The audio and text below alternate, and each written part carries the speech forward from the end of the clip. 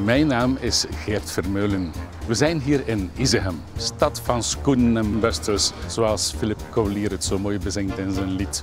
Mijn vader was een schoenmaker, mijn moeder een schoenstekster, mijn oma was een borsteltrekster. Het gebouw is een oude schoenenfabriek. Die werd in de jaren 30 van de vorige eeuw gebouwd en is volledig in de Art Deco-stijl. Deze laarzen werden hier in Isegem gemaakt door Edward Dirk en die waren bestemd voor koning Leopold I. Op deze machine heeft mijn moeder heel veel uren zitten werken bij ons thuis, want schoenstikken gebeurde bij de mensen thuis. Vandaar dat ik heel goed ben in het bereiden van eten en ook in het afwassen achteraf, want voor die zaken had mijn moeder helemaal geen tijd.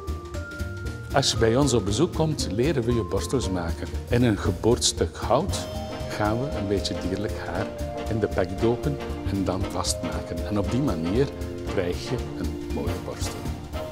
En waren je schoenen niet gepoetst toen je hier aankwam, dan zijn ze dat misschien wel als je straks naar huis gaat.